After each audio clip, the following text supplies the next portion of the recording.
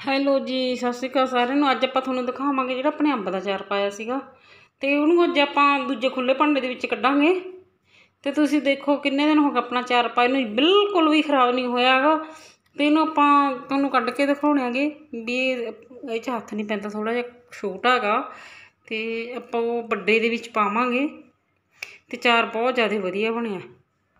ਲਓ ਜੀ, ਹੁਣ ਆਪਾਂ ਇਹਨੂੰ ਦੂਜੇ ਡੱਬੇ ਦੇ ਵਿੱਚ ਪਾ ਲਿਆ। ਦੇਖੋ ਆਪਣਾ ਚਾਰ ਕਿੰਨਾ ਜ਼ਿਆਦਾ ਵਧੀਆ ਬਣਿਆ ਹੈਗਾ। ਸਿਰਫ ਚਾਰ ਪਾਉਣ ਦਾ ਇੱਕੋ ਹੀ ਤਰੀਕਾ ਬਹੁਤ ਵਧੀਆ ਹੈਗਾ, ਕਦੇ ਵੀ ਚਾਰ ਖਰਾਬ ਨਹੀਂ ਹੋਊਗਾ ਜਦੋਂ ਆਪਾਂ ਚਾਰ ਪਾਉਣੇ ਆਗੇ ਉਹਦੇ ਵਿੱਚ ਪਹਿਲਾਂ ਸੁੱਕੇ ਤੇ ਤੇ ਲੂਣ ਮਿਰਚ ਜਿਵੇਂ ਫਾੜੀਆਂ ਸੁਕਾ ਕੇ ਰੱਖਦੇ ਆ ਨਾ ਲੂਣ ਮਿਰਚ ਚੰਗੀ ਤਰ੍ਹਾਂ ਲਗਾ ਦਿਓ ਸਾਰੀਆਂ ਫਾੜੀਆਂ ਨੂੰ ਕੋਈ ਵੀ ਫਾੜੀ ਨੰਗੀ ਨਾ ਰੱਖੋ।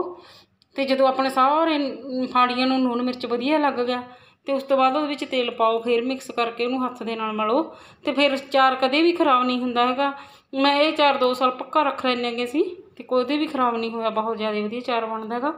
ਤੁਸੀਂ ਚਾਰ ਸਾਂਭਣ ਦਾ ਤਰੀਕਾ ਦੇਖ ਸਕਦੇ ਹੋਗੇ ਤੇ ਆਪਣੀ ਵੀਡੀਓ 'ਚ ਦੇਖੋ ਜੇ ਤੁਹਾਨੂੰ ਵਧੀਆ ਲੱਗੀ ਲਾਈਕ ਕਮੈਂਟ ਸ਼ੇਅਰ ਜ਼ਰੂਰ ਕਰਿਓ ਥੈਂਕ ਯੂ